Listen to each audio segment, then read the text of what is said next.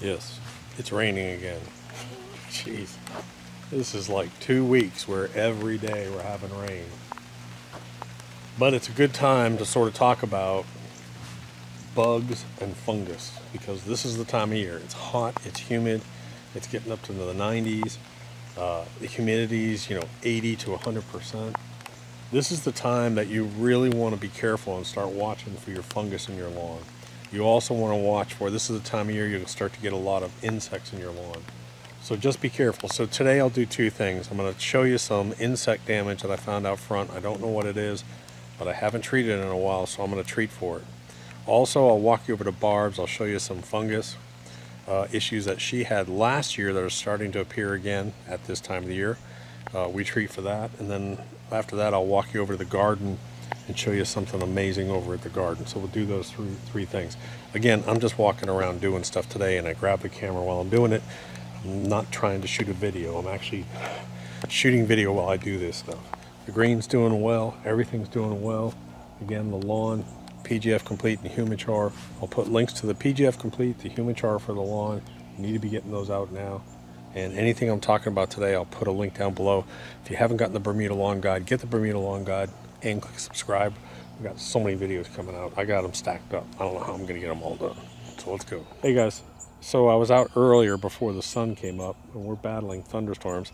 And just so you know, hit subscribe because Jesse's supposed to be out here working in the garden and we got thunderstorms rolling in all day. So I've got about seven videos we got to shoot that I'm trying to get done and I can't.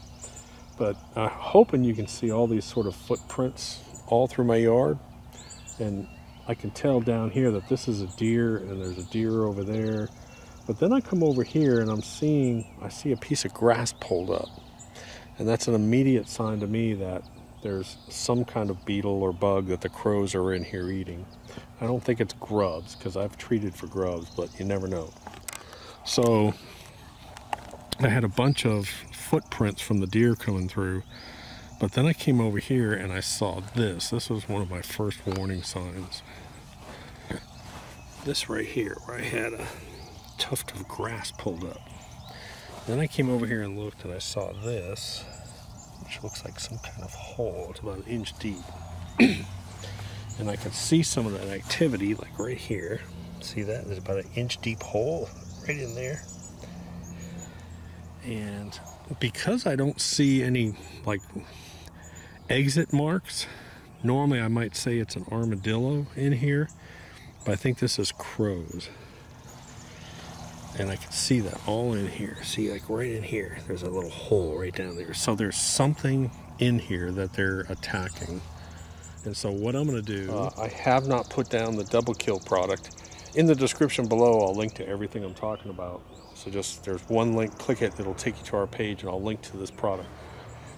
With all this damp weather, there's a good chance you might need fungicide and some insecticide. so we're gonna put down, I'm gonna put down the double kill today on the front because I got a thunderstorm coming through. Perfect time to put it down. Same thing with your uh, fungicide. But when I start to see those little holes in my lawn, I know what it is. Now I'm going to walk you over real quick and I'm going to show you Barb's little fungus issue. So let me walk over there and show you it. See this right in here? I mean, it's um, it almost has the look of a dollar spot, but it's not. I don't think that's dollar spot. I don't know what kind of fungus it is, so I'm going to treat this with the granular fungicide and then I may even come back with a secondary different chemical and treat it as well too because I need to jump on this. Last year this whole area got infected with fungus. I'm starting to see it. Now so is now, the time to hit it. Remember, I don't know where you are, but in our area we've had really warm temps and we've had lots of misting rains and lots of gray days. That is the fungus issue. So today, it's not a bad time. We're about to hit June 1st. Oh crap, June 1st, like that's my wife's birthday. Maybe I'll cut the grass for her. Um, it's about to hit June 1st, and we've had lots of rain move in, lots of rain patterns, lots of damp weather, lots of humidity. not a bad time if you haven't put down a fungicide, a preventative. What I'm going to show you today, or what I'll link to in the description below, is a, is a granular uh, preventative and treatment, and then the double kill for insects. Not a bad idea if you haven't done that yet, too. Okay, so tip number one why do I have my spreader sitting like this? Um, make sure your spreader is dry. I use a paper towel and I clean it out, and then I let the sun hit it and heat it up all of these um, DG particles will react with water. So what you want to do is you want to make sure that your spreader is completely dry before you put them in. Next, let's talk about the spreader settings. All right, so today I am using the Anderson's Yardstar. This is the biggest pain in the butt to assemble, but it's probably my favorite spreader. Now I've got spreaders that are $600 huge professional spreaders and I like this one and I consistently pull this one because it's lightweight. It's just over 200 bucks and it's a really good spreader. Anyways, I did a review on it. So there we are closed. There we are fully open with the three holes and I'm going to come down to about there. And if you can maybe get a perspective on that hole size. So whenever you use these tiny particles, both on the fungicide and on the duos and the double kill here, always start off with a small hole pattern, very small. Run it, see how it's going out, put it out on a known area, and then if it's not enough, then you can go back and double it, and then you can adjust your hole pattern. You'll get a feel for your own for your own spreader. Everyone always asks for numbers, and I'm telling you, numbers don't work on these things because every person's spreader is different based on the way that you assemble it. So really the numbers don't work. You just really have to focus on the hole size. Like everyone always asks for numbers and I tell them it varies. And so what I do is I give them like eighth of an inch, quarter of an inch. I give them those measurements. So I'm starting off small.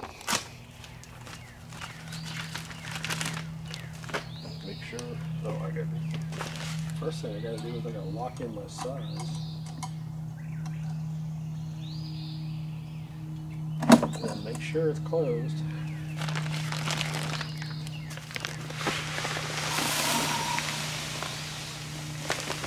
Okay, so here's this double kill process. This is what we look like. Tiny little particles. Now, these particles will disperse as soon as they're wet. And I use this for armyworms, I use this for grubs, I use this for ticks, I use this for ants. Um, one of the reasons why I wear a glove is because if I want to come in and throw some into some bedding areas, like if I have earwigs under mulch or something like that, I'm going to throw this product in there. This is one of the only products that you can evenly disperse as a granule. As soon as you wet it, it disperses instantly. It'll kill above and below ground. So it'll kill above ground insects and it will kill below ground. It'll kill grubs. If you're going to kill grubs, want to kill grubs, you got to put it out at the heavy rate. That's one thing I've learned. You have to apply it at the heavy rate for grubs. Water it in, water it in, because the grubs, two to three inches deep, and you got to get it down to the grubs. The grubs really aren't going to come up to the surface. Army worms, it's different.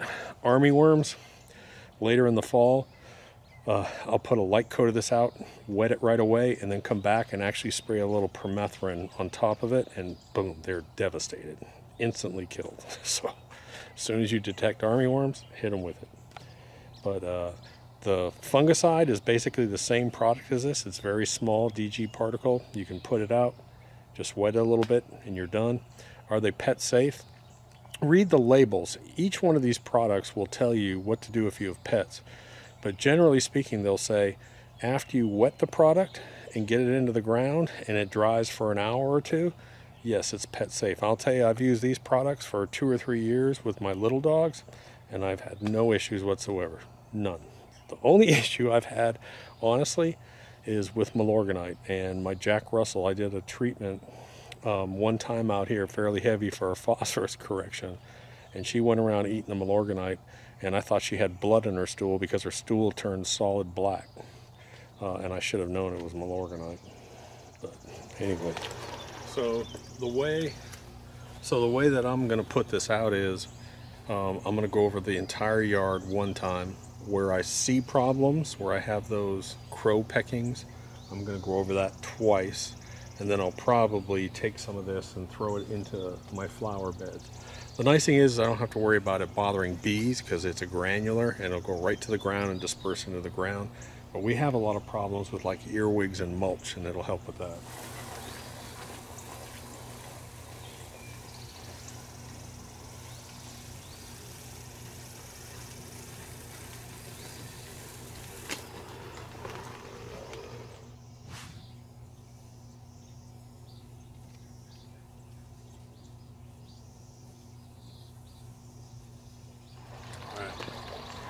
So what I did there was I went over the entire lawn once.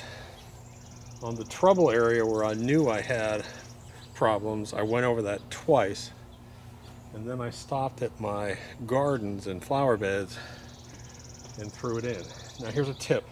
And the tip that I have for you today is um, I like to put this out while there's dew on the grass. I can see my wheel patterns and the DG particles will get wet right away. And so if I want, I can actually come out here with a hose and just spray it real quick.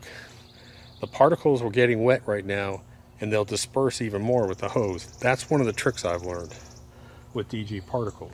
Okay, so I'm about to run down to the shed and get my spreader, but before I do, I, I gotta stop and show you this. If you have any kind of garden, whether it's flower or whether it's vegetable, especially you guys up north that haven't planted yet or just starting to plant, use this super compost. This is just insane. So I went and checked the dates. Uh, March 25th, these were planted, these tomato plants, and they were about eight inches tall. And I want you to look at I want you to look at all the fruit on these things. I mean, look deep in there. It is crazy. Absolutely insane. Please don't bite the bee. Squash plants are massive. Here, as an example, this is just today. So, eight weeks, about seven weeks on my squash, which are huge. These are from seeds. These are cherry tomatoes from seeds, probably about six weeks old over here. Zucchini over here from seed. Squash, yellow squash over here from seed. Peas over here from seed. These are about four or five weeks old. I've already got peas growing, which, as I promised you, never make it inside. Yes, I eat them like candy out here. The peas never make it inside. Mmm, that's so good. Green peppers. Every single one of these plants is loaded with green peppers. Um, I've already harvested a bunch of those. I harvested my first cucumber. This is from seed. I harvested my first cucumber yesterday. These are a little behind. These are only about four weeks old. We are not using fertilizer per se. So what we're doing is we're mixing organic matter into this compost. We're adding super juice and the humichar, humichar into it. And it's just, this, this stuff is just blowing. I've never had a garden like this. It is crazy. So anyways, sun's coming out and then more clouds are coming. Who knows what's going on. The next five days are going to be beautiful. So we're going to be doing a lot of work around here. Uh, we got a lot going on. So like I said, Jesse's coming out tomorrow. I'm going to show you guys.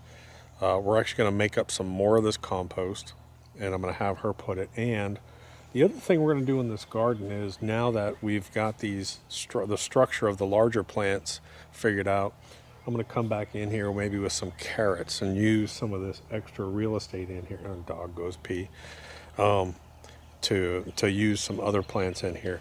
The other thing I'm going to do, let me show you something else really cool. Hold on. So what I do with this area is a lot of times uh, in the fall and winter I'll pull the garden out and I'll just dump all the plants back here and just sort of let them compost out. There's a lot of gra uh, grass clippings and stuff back here. All right, so we're just throwing some grass clippings and we'll sort of make this, turn this back into kind of a mulch pile. I want you to look back here from last year. Look at these tomato plants here. Isn't that crazy? So I think what I might do is I'm going to see if maybe I can rescue some of those and bring them inside to a couple areas I got. This is uh, the backwoods area over here. And uh, I mean, these are not going to do anything. They're going to get destroyed. So let me see if I can sort of save these and bring them back in. I might do that today, actually. Anyways, hit subscribe and I'll throw that on the next video. All the products I'm talking to are linked down below. This is the time of year, fungicide. Watch for your fungus, watch for any bugs or pests. And uh, talk to you later. Doc.